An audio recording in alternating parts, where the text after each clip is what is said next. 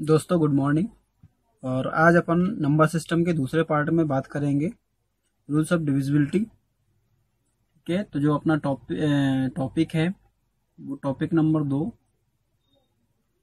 के। Rules of divisibility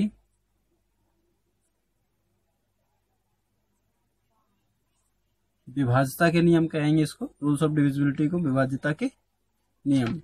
इसमें बहुत इंपॉर्टेंट टॉपिक है आपके कैलकुलेशन को फास्ट करने के लिए। और इसके माध्यम से आपकी कैलकुलेशन बहुत अच्छी हो जाएगी इस वीडियो के माध्यम से। क्योंकि मैंने आपको कल इसमें जो जो चीज़ें यूज़ होने वाली है, लगभग उसका पहला कॉन्सेप्ट आपको पहली वाली वीडियो में बताया है। काफ़ी बेसिक वीडियो बनाई थी मैंने पहली वाली।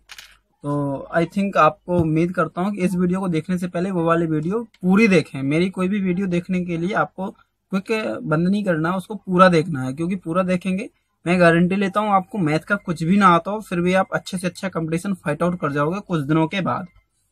ठीक है? तो टॉपिक टू में रूल्स ऑफ़ डिविजिबिलिटी देखते हैं, और इसमें पहला नियम देखते हैं। डिविजिबिलिटी का मतलब विभाजता का नियम मैंने पहले हिंदी में बता के रखा है सारे टॉपिकों को।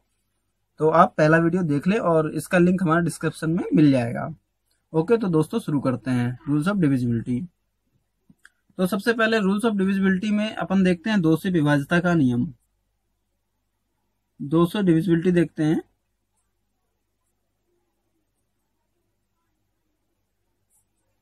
विभाजता का नियम।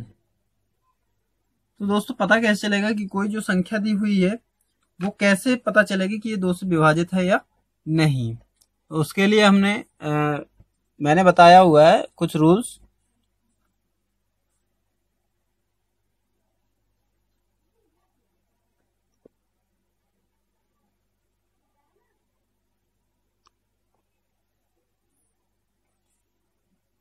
कि जिन संख्याओं के अंत में जिन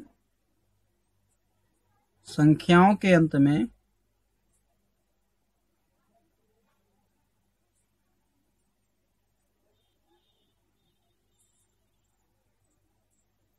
क्या मिले दोस्तों?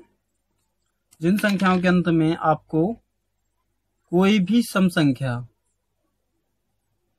कोई भी सम संख्या अब संख्या क्या होगी? या तो आपको ज़ीरो मिल जाए, या आपको टू मिल जाए, या चार मिल जाए, टू, फोर, सिक्स, एट। अगर ये संख्याएँ मिलती हैं, जिन संख्याओं के अंत में वो क्या होंगी? दो से विभाजित होंगी। वो दो से पूर्णतः विभाजित होंगी। एग्ज़ाम्पल देखते हैं। जैसे मैंने एक संख्या को लिखा one two one zero two four दस सौ चौबीस लिखा। अब चेक करना है, दस सौ चौबीस क्या दो से विभाजित है? तो यस लास्ट में क्या है इसके? लास्ट में इसके है फोर यानी चार। और इस संख्या के लास्ट में चार है और हमने रूल में लिखा है कि जिन संख्याओं के अंत में ज़ीरो, दो, चार, छह, आठ मिलता है, वो दो से पूर्णतः विभाजित होती हैं। तो ट्राई करते हैं दो से विभाजित है या नहीं। तो कैसे चेक करेंगे? दो का भाग देंगे दस सौ चौबीस में। तो दो पंचे दस, अंक उतारेंगे दो का, दो एकम दो, अंक उतारेंगे, कटने के बाद ज़ीरो, अंक उतारेंगे चार का, दो दूनी चार। यानी पूर्णतः कट गई, शेषफल क्या बचा? कुछ भी नहीं। तो ये चीज़ क्लियर हो गई होगी। इसी तरीके से आप बहुत सारी संख्याएँ लिख सकते हैं। एग्ज़ाम्पल में या आप चेक करेंगे कि ये विभाजित हो रही हैं या नहीं। One two three four five six seven eight nine zero मतलब किसी भी संख्या को आप लिखें। लास्ट में अगर ये चार, पाँच डिजिट हैं तो वो संख्या दो से पूर्णतः विभाजित होगी। आई थिंक दो से विभाजता का नियम क्लियर हो गया होगा। दूसरा नियम तीन से देखेंगे।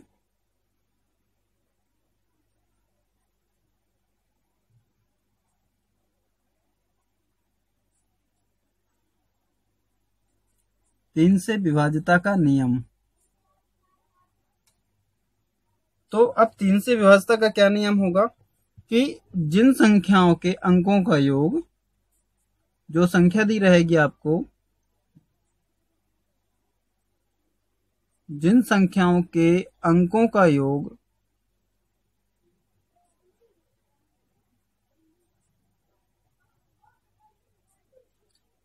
तीन से विभाजित होगा, तीन से पूर्णतः विभाजित होगा,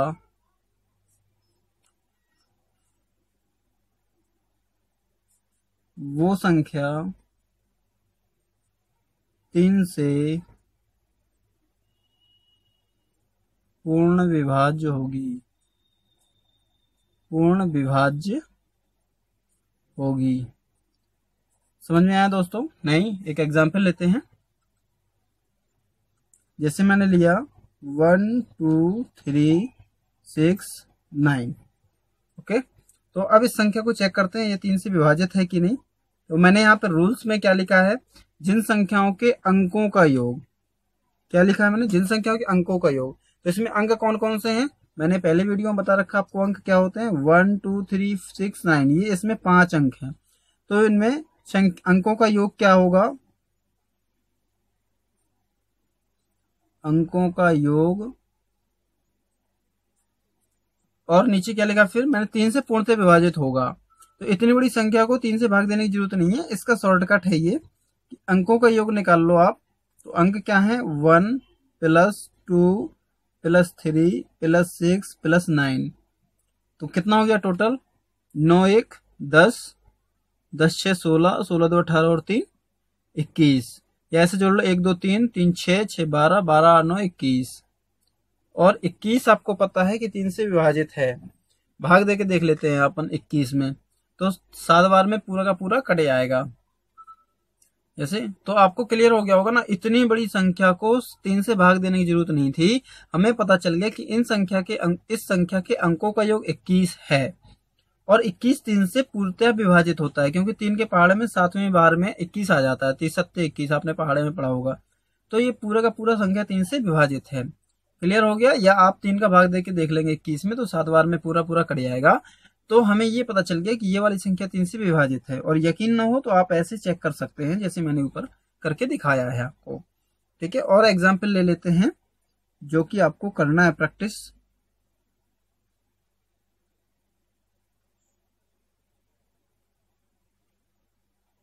ठीक है, एक संख्या ये है आपकी, एक, दो, तीन, ज़ीरो, छह, नौ, ज़ीरो।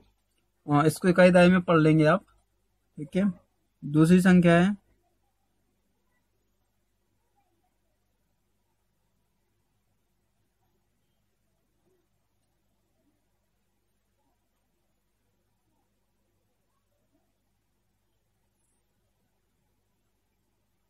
ये हो गया आपका पाँच, छ।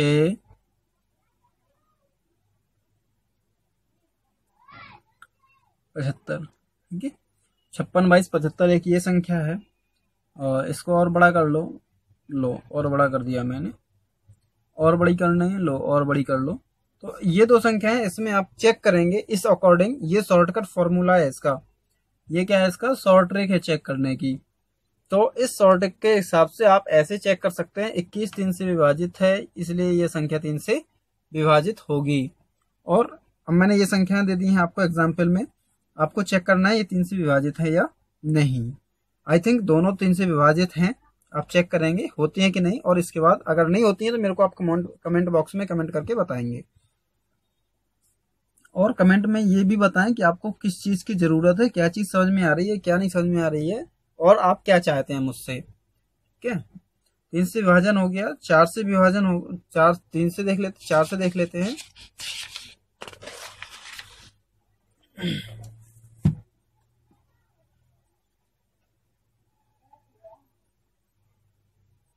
चार से विभाजिता का नियम देखते हैं।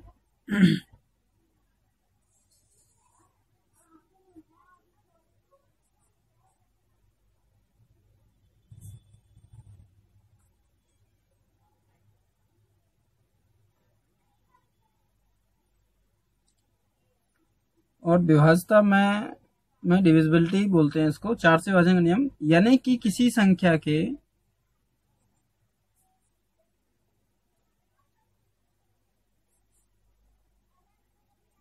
अंतिम दो अंक। किसी संख्या के अंतिम दो अंक चार से विभाजित होंगे।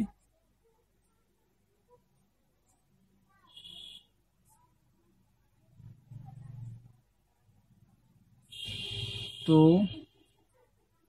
वो संख्या पूर्णतया चार से विभाजित होगी।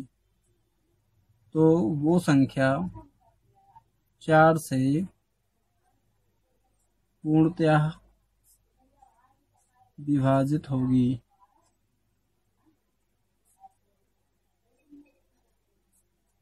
ओके, चेक करते हैं एग्ज़ाम्पल से। लास्ट के दो अंक का मतलब क्या हो गया?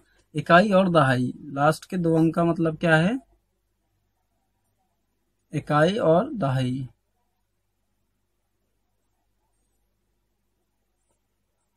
इकाई और दहाई के अंकों का योग दो से चार से पूर्णतः विभाजित होना चाहिए। जैसे एग्ज़ाम्पल लेते हैं। One zero four eight. Okay zero ले लो। ज़ीरो ले लो। ठीक है? या ज़ीरो नहीं लेना है। चलो ज़ीरो ले लेते हैं, कोई दिक्कत नहीं है। अब इस संख्या को चार से देखना है चेक करना है, विभाजित है कि नहीं? तो मैंने क्या बताया? लास्ट के दो अंक चेक करने हैं केवल, वो चार से विभाजित है कि नहीं? लास्ट के दो अंक क्या है? अस्सी। लास्ट के दो अंक क्या है? आठ और ज़ीरो। तो आठ और ज़ीरो मिलकर के क्या बना? अस्सी। और अस्सी में अगर हम चार का भाग देते हैं तो कितने बार में पूर्णतः डिविजिबल है वो? ट्वेंटी टाइम में। तो यानी कि चार से अगर अस्सी में भाग देंगे तो भागफल कितना आएगा? बीस। यानी कि शेषफल कुछ बचेगा क्या? नहीं बचेगा। इसलिए संख्या चार से विभाजित है। ओके? समझ में आई बात? अभी नहीं। चलिए एक एग्ज़ाम्पल और देख लेते हैं।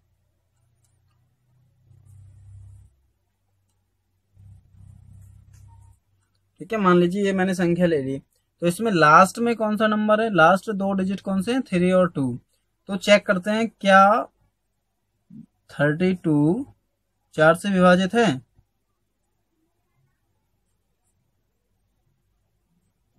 ये अपन चेक करते हैं। तो क्लियर है, चार के ही टेबल में आता है थर्टी टू एट टाइम में, यानी चार वर्डी बत्तीस, यानी आठ बार में बत्तीस पूर्णतया विभाजित हो जाएगी। तो हाँ आंसर क्या आया? हाँ बत्तीस चार से पूर्णतया विभाजित है आंसर हाँ है। इसलिए इसलिए जो संख्या है one two three four three two वो चार से विभाजित होगी।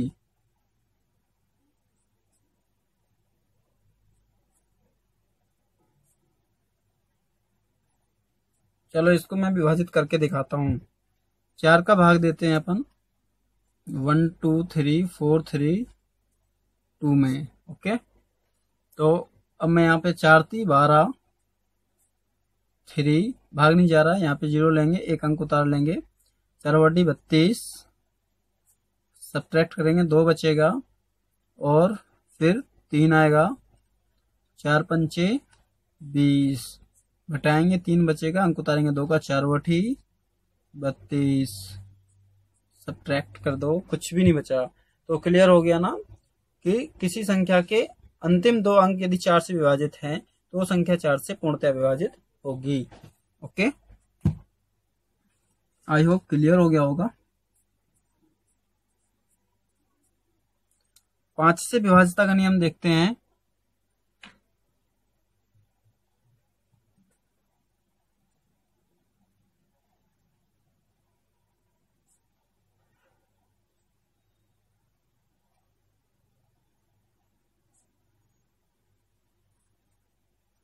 जिस संख्या के अंत में पाँच से विभाजित के लिए है।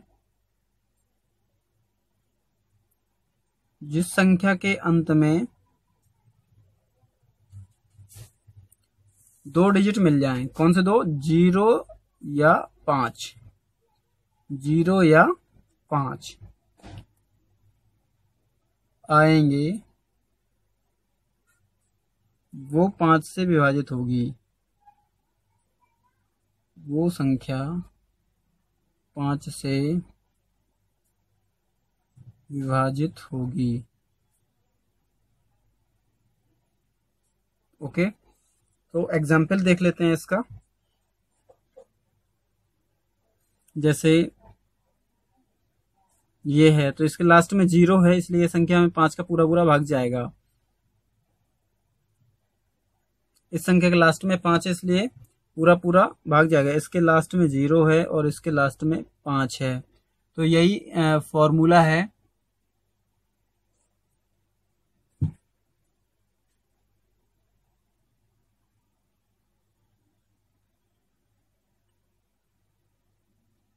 यही फॉर्मूला है कि जो जिस संख्या के लास्ट में ज़ीरो है और जिस संख्या के लास्ट में पाँच है, वो संख्या पाँच से पूर्णतः विभाजित होगी।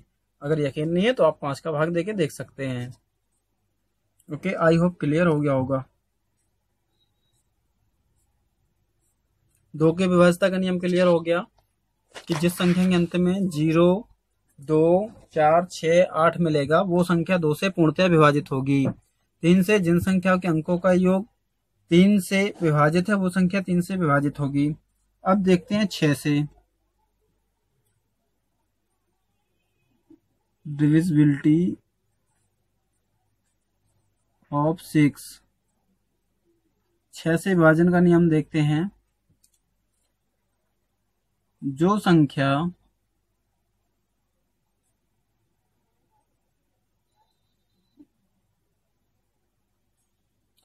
जो संख्या दो और तीन, क्या? दो और तीन। दोनों से विभाजित है।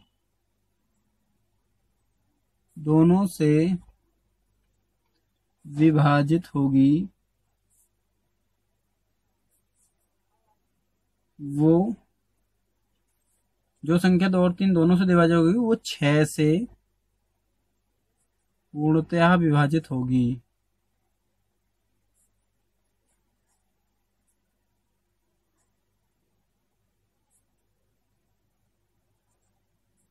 वो छह से पूर्णतया विभाजित होगी। एग्ज़ाम्पल देख लेते हैं।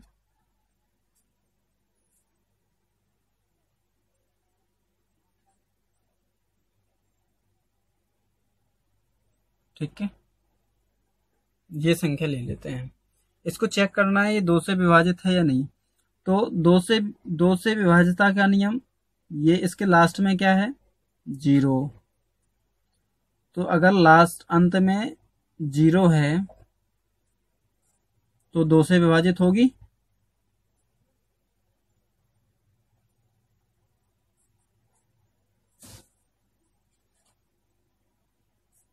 ठीक है? और अंकों का योग कितना आ रहा है इसके? संख्या के? अंकों का योग कितना है इसके? देख लेते हैं। One plus two plus three plus six plus zero. Equal one, two, three three, six six, twelve. और ट्वेल्व थ्री से डिविजिबल है। अंकों का योग बारह है, सो इसलिए ये तीन से भी विभाजित है।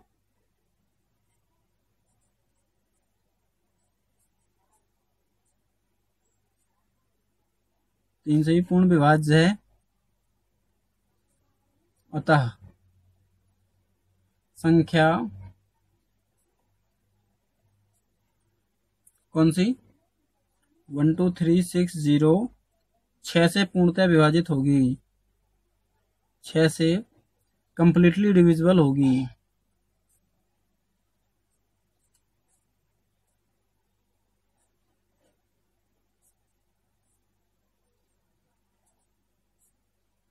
ओके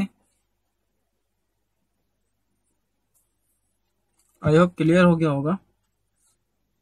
अगर ये संख्या है, अगर लास्ट में ज़ीरो है तो ये दो से पूर्णतः विभाजित है। इसके अंकों का जो बारह है, इसलिए तीन से भी पूर्णतः विभाजित है और ऊपर नोट लिख रखा है मैंने कि जो संख्या दो और तीन दोनों से विभाजित होगी, वो छह से पूर्णतः विभाजित होगी। अब सात की डिविजिबिलिटी चेक करते हैं।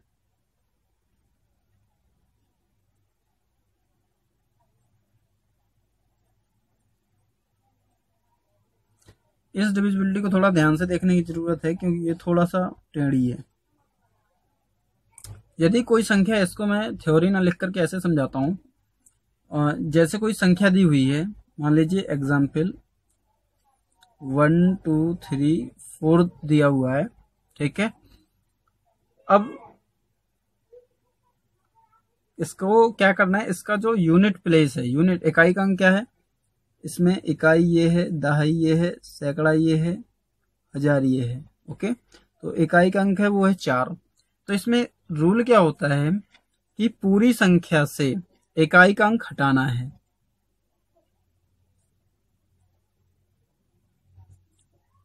इकाई का अंक हटाना है, हटाकर दो से गुणा करना है। ठीक है? अगर इकाई का अंक हम हटा देंगे तो क्या बचा संख्या? तो जो संख्या बचेगी, वो कितनी बचेगी? एक सौ तेईस। ठीक है, क्योंकि इकाई का अंक तो हमने हटा दिया। अब दुगना करके हटा दिया, अब दुगना करना है। ठीक है तो जो संख्या थी इकाई का अंक क्या था? चार। इकाई का अंक चार था। इसको दोगुना कर दिया। ठीक है तो क्या हो गया? आठ। इसको घटाना होता है। इसको क्या करना है? यहाँ पर इस संख्या से घटाना है, या इसको अभी काट दो, इसको घटाना होता है। तो क्या आएगा फाइनली एक सौ तेईस माइनस आठ। कितना आएगा? एक। वो तेरह में से आठ गई? कितना आएगा? पाँच। इधर बचेगा एक। एक सौ पंद्रह बचा। ठीक है? 115 में सात से भाग देके देखेंगे क्या डिविजिबल है या नहीं।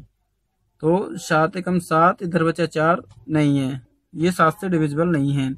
अतः संख्या ये सात से पूर्णतः विभाजित नहीं होगी। क्लियर आई थिंक क्लियर हो गया होगा सवाल क्या है? सवाल है कि जो संख्या दी हुई है, उसका जो लास्ट वाला डिजिट है, उसको हटा के दुगना करना है और बची हुई संख्या से घटा देना है। अब नहीं समझ में आया? एक एग्ज़ाम्पल और देखते हैं इसका।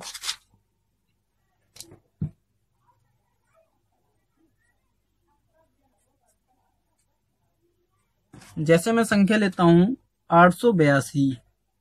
एक संख्या ले लो, आठ बयासी। तो इसमें रूल क्या है? रूल है, इसका नियम ये है। नियम क्या है?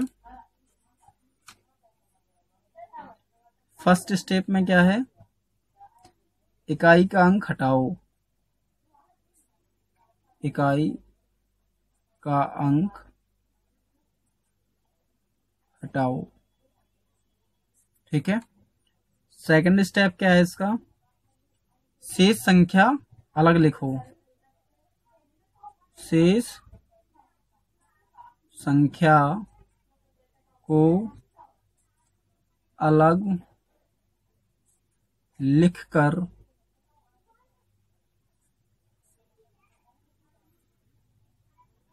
अलग लिखकर इकाई के अंक का दुगना। इकाई के अंक का दो गुना शेष संख्या से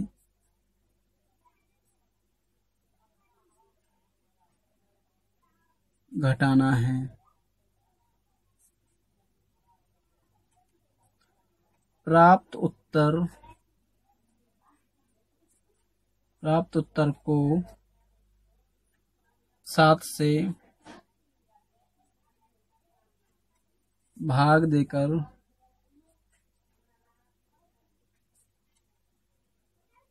जांचना है, यानी चेक करना है। चेक करना है। यह प्रक्रिया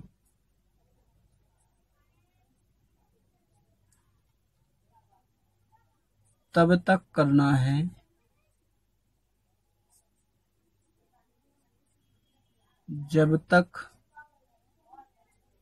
संख्या दो अंकों की ना बन जाए। ओके, इसको एग्ज़ाम्पल से समझते हैं। आठ सौ बयासी संख्या ली थी, हमने लिखा इसको आठ सौ बयासी। इसका इकाई का अंक क्या है? दो। इकाई का अंक ठीक है तो इसको क्या करना है हटाना है। इसको हटाया। तो अब शेष संख्या को अलग लिखना है तो शेष कितनी बची संख्या? 88 शेष संख्या कितनी बची? 88 ओके, अब आगे क्या है? प्राप्त शेष संख्या को अलग लिखकर, अलग अलग लिखा हमने। इकाई के अंक का दोगुना शेष संख्या से घटाना है। तो इकाई का अंक कितना था? दो। तो इसका दो गुना हमें घटाना है इकाई के अंक का।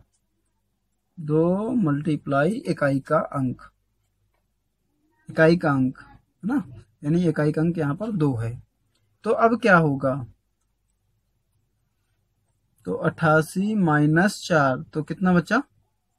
चौरासी। और चौरासी दो अंकों की संख्या बन गई। जब तक यहाँ पर दो अंकों की संख्या नहीं बनती जाएगी, हम यही प्रोसेस करते जाएँगे। ठीक है? और ये जब दो अंकों की संख्या बन गई, इसमें आप सात का भाग देकर चेक करेंगे कि सात से विभाजित है या नहीं। तो ये पूर्णतया बारह, सात, चौरासी, बारह बार में सात से पूर्णतया खड़े आएगा अतः ये संख्या सात से पूर्णतया विभाजित है। आई थिंक अब क्लियर हो गया होगा कुछ। अभी एक एग्ज़ाम्पल और देखते हैं बड़ी संख्या का। ठीक है? एक एग्ज़ाम्पल और देखते हैं। यही केवल टफ है, थोड़ा सा रूल बाकी तो बहुत ईजी है सारे। तो एक संख्या और चेक करते हैं।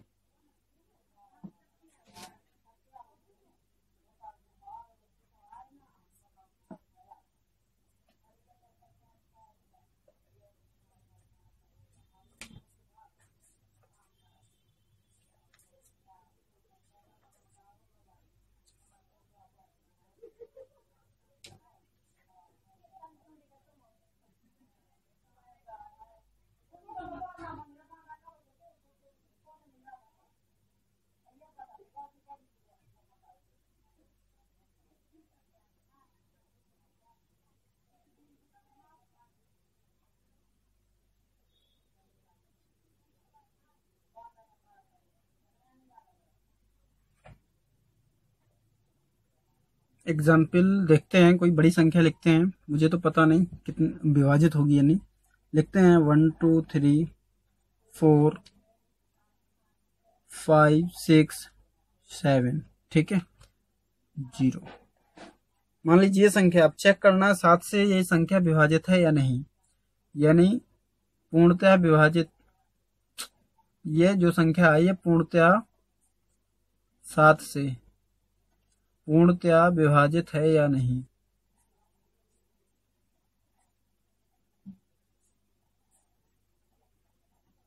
ये करना है अपन ने, ठीक है? तो संख्या लिखते हैं सॉल्यूशन सॉल्यूशन में क्या लिखते हैं? अपन नंबर लिखते हैं one two three four five six seven zero इसमें इकाई का अंक क्या है? ज़ीरो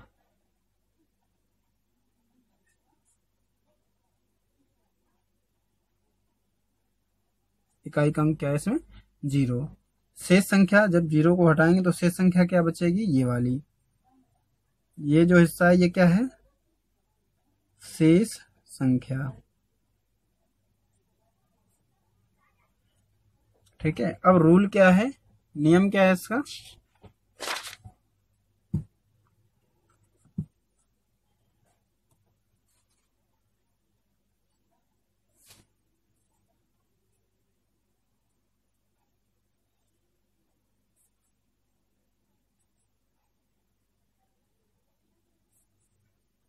शेष संख्या?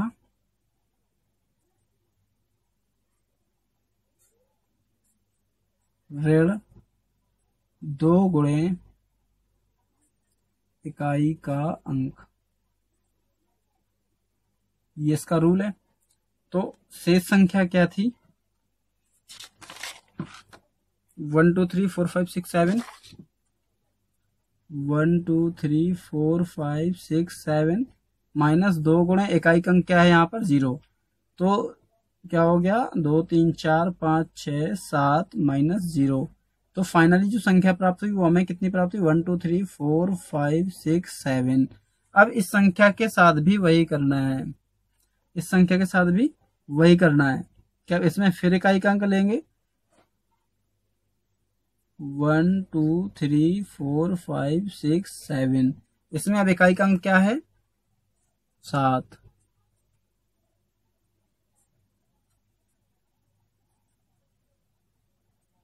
और शेष संख्या क्या बची इसमें? ये।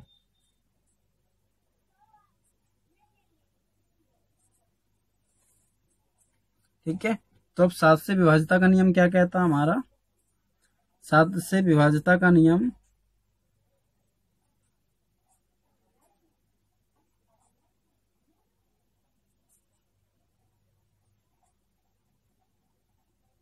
जो कहता है वो, आप पता है, शेष संख्या माइनस दो गुणे इकाई का अंक? तो शेष संख्या क्या है यहाँ पर? One, two, three, four, five, six, minus दो गुणे इकाई का अंक कितना है यहाँ पर? सात। तो करिए, one, two, three, four, five, six, minus fourteen. तो सब्सट्रैक्ट करिए कितना बचेगा? Two, four four, three, two, one. अब ये संख्या मिल गई। हमें इस संख्या के साथ फिर वही करना है। अब ये फिर से नई संख्या बन गई हमारी। तो अब इस संख्या के साथ फिर वही करेंगे। किसमें इकाई अंक क्या है? यहाँ पर ये नई संख्या बन गई। यहाँ पर ये वाली नई संख्या थी। अब ये नई संख्या क्या बन गई हमारी? One, two, three, four four, two. ठीक है तो इसमें इकाई अंक क्या है? टू। ठीक है, मैं बार बार नहीं लिखूँगा। तो इकाई अंक क्या है इसमें? टू। तो अब क्या करना है? शेष संख्या one, two, three, four four. Minus two into two. तो क्या बन गया? One, two, three, four four, minus four. तो क्या आएगा answer? One, two, three, four. ये फोर से फोर घट जाएगा ज़ीरो। तो ये कितने अंकों की हो गई? फिर से ये जो संख्या प्राप्त हुई, ये वाली संख्या नई संख्या है। ठीक है, इसके साथ भी यही प्रोसेस करेंगे। जो अभी अपन सबके साथ कर रहे थे।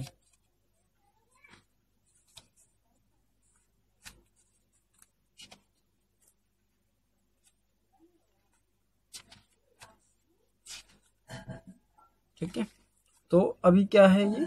संख्या one, two, three, four, zero. तो नई संख्या क्या बन गई यहाँ पर?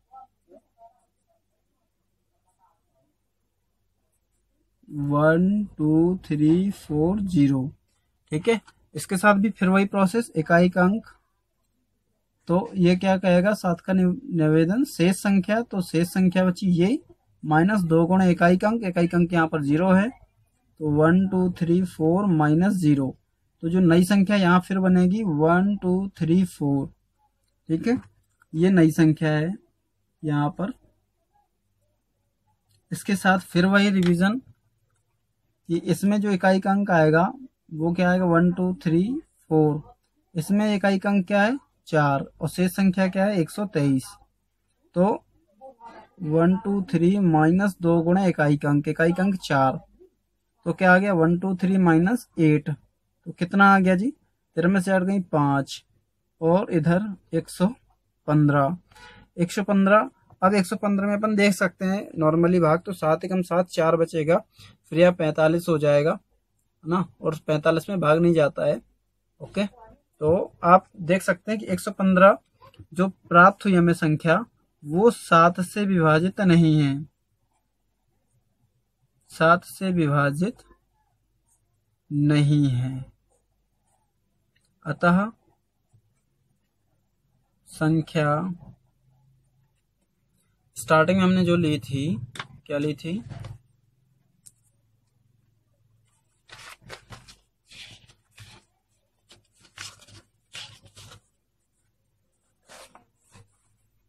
हमने जो संख्या ली थी,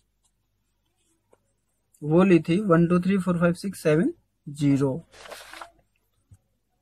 One, two, three, four, five, six, seven, zero. संख्या सात से विभाजित नहीं है।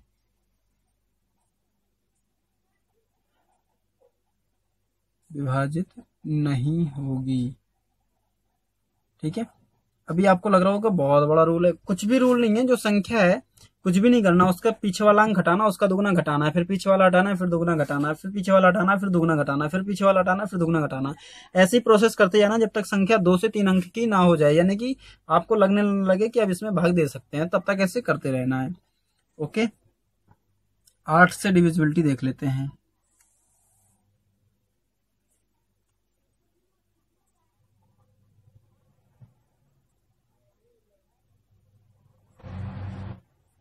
डिविजिबिलिटी ऑफ़ एट देखते हैं अपन यहाँ पर। मैंने एक रूल बताया था, जिन संख्या के अंत के दो अंक चार से विभाजित तो वो संख्या चार से विभाजित होगी। तो इसमें भी सेम वही रूल है, जिन संख्या, जिन संख्याओं के अंतिम तीन अंक। अंतिम तीन अंक आठ से विभाजित होंगे।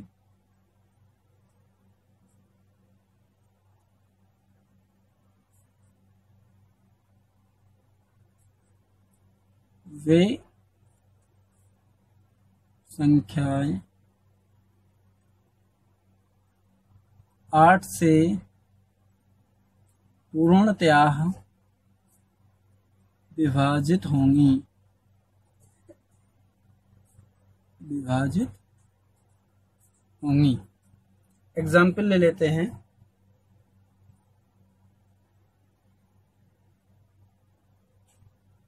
एग्ज़ाम्पल में one two five one two, ये एग्ज़ाम्पल लिया। तो हमें चेक करना है क्या जो अंतिम तीन अंक हैं, यानी अंतिम तीन अंक क्या है संख्या में?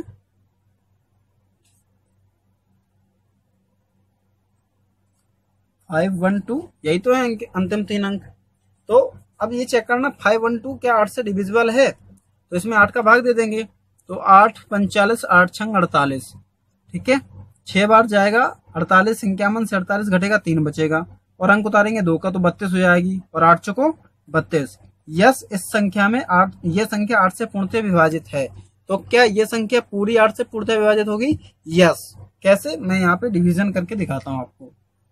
आठ का डिवीज़न करते हैं अपन one two five one two में, ठीक है? तो आठ एट वन जा एट यहाँ पे घटाएँगे।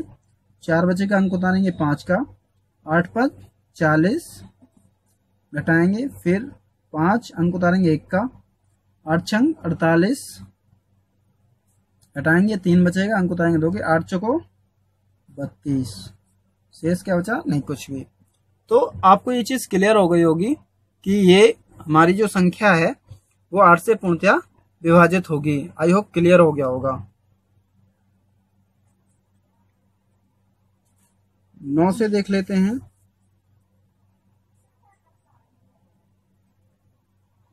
नौ से विभाजता का नियम।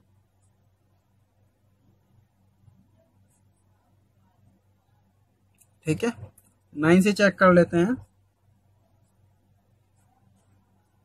तो सेम अंकों का योग, यदि यदि अंक, यदि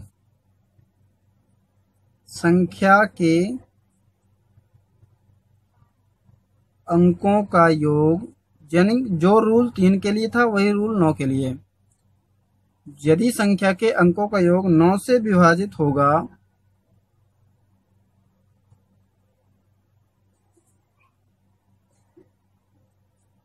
तो वह संख्या वह संख्या नौ से पूर्णतया।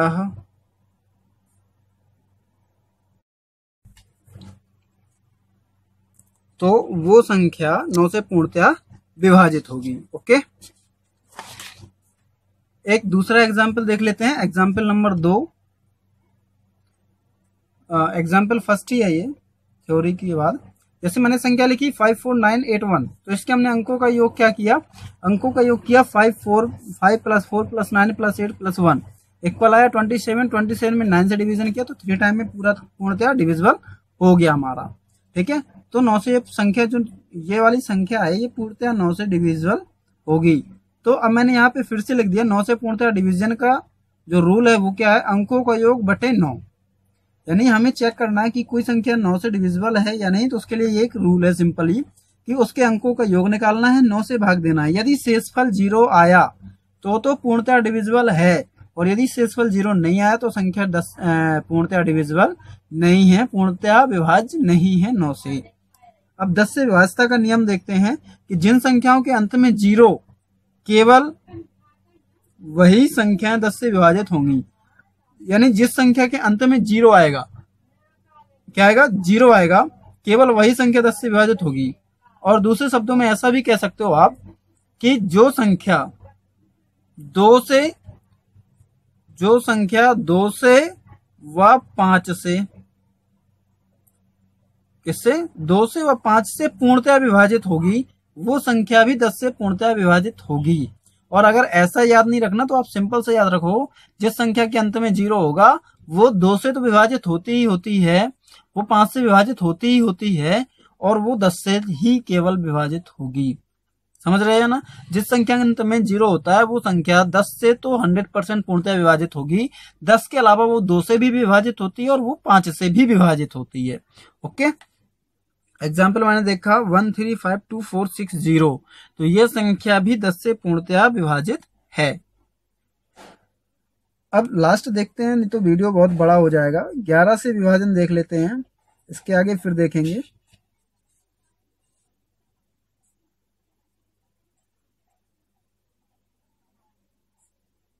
मैं इसकी थ्योरी नहीं लिखता हूँ, केवल फॉर्मूला लिख देता हूँ।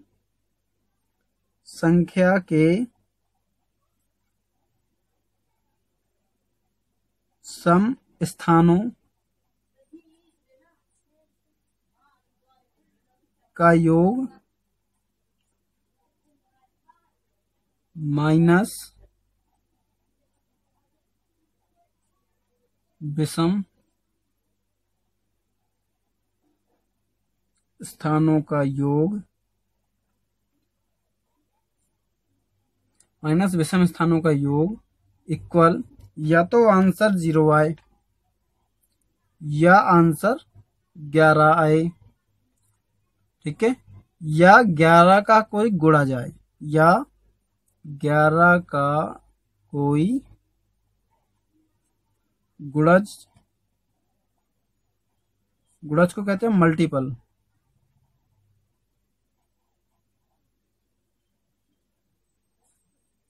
गुड़ज आए। तो वो संख्या ग्यारह से विभाजित होगी, अन्यथा की स्थिति में नहीं होगी। ठीक है एग्ज़ाम्पल के माध्यम से समझते हैं। मैं यहाँ पे संख्या लिखता हूँ। One two three two six six two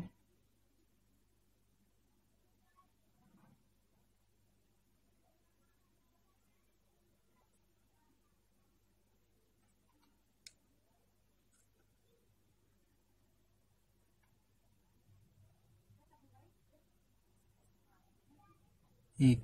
मान लीजिए ये संख्या मैंने लिखी। अब चेक करना ये संख्या ग्यारह से विभाजित है या नहीं। तो संख्या के सम स्थान कौन से हैं?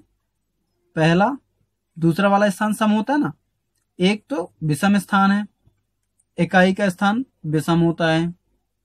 ठीक है ना? ये संख्या का विषम स्थान है। पहला स्थान विषम, दूसरा स्थान सम, तीसरा स्थान विषम चौथा स्थान, सम, पांचवा स्थान, विषम, छठा स्थान, सम, सातवां स्थान, विषम, आठवां स्थान, सम, नौवा स्थान, विषम। ठीक है? तो ये हो गया, विषम, सम विषम सम विषम सम विषम सम, विषम। ठीक है? अगर इस तरफ़ से गिनते हो तो भी ये विषम है विषम फिर सम विषम फिर सम ठीक है? तो जो रूल है वो क्या है? सम स्थानों का योग, सम स्थानों के अंकों का योग माइनस विषम स्थानों के अंकों का योग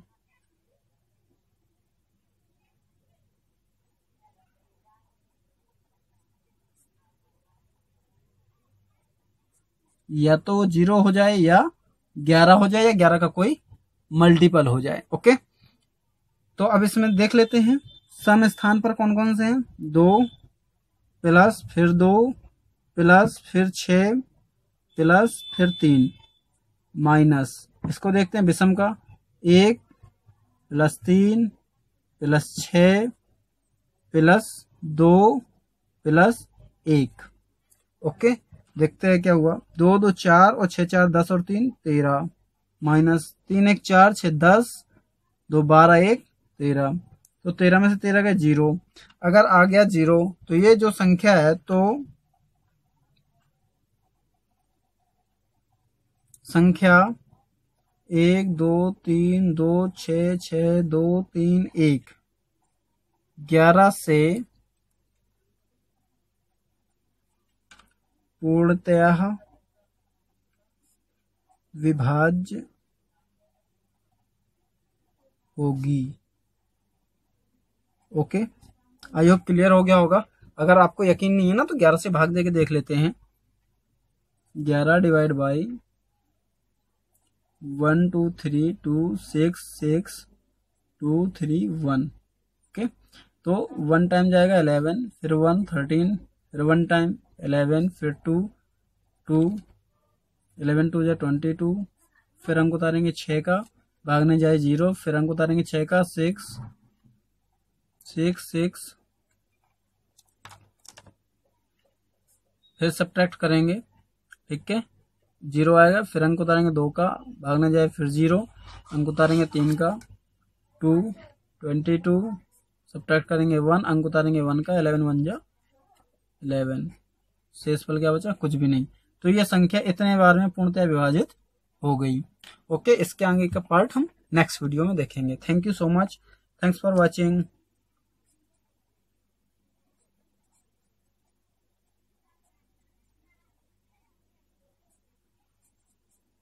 please subscribe our channel. Thank you. Thank you so much. और अधिक लाभ लेने के लिए अपने दोस्तों को भी ये वीडियो शेयर करें, ताकि मुझे पता चल पाए कि क्या कमी रह जाती है और मुझे क्या देना चाहिए। Okay thank you so much